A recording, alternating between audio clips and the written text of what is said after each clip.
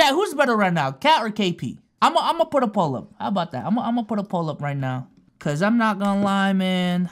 I just remember the conversations we was having in 2016, 2017, 2018.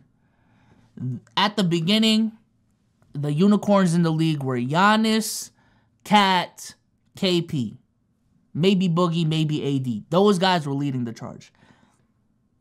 At some point, KAT and Boogie separated themselves from the rest of the crowd. When people were making top 10 lists, KAT and Boogie were in there, the other guys were not.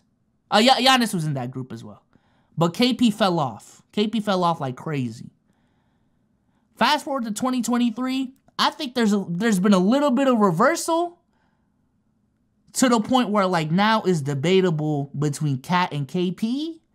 And that just seems fucking crazy to me. The fact that this poll is 52 to 48, that is crazy to me.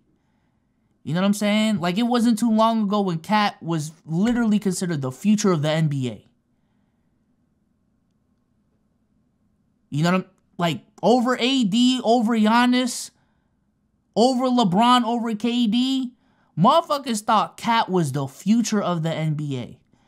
It wasn't too long ago when KP was on the Mavericks getting called Tingus Pingus and getting cooked because he couldn't post up six foot guards. Now he still might have some problem doing uh, problems doing that.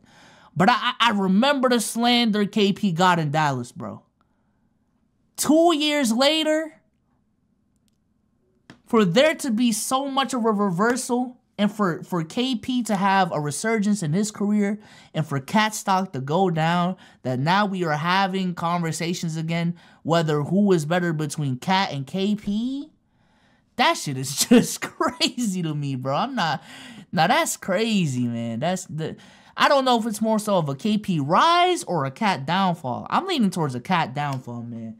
The the KAT stock has gone down through the roof, gone down through the fucking roof, bro.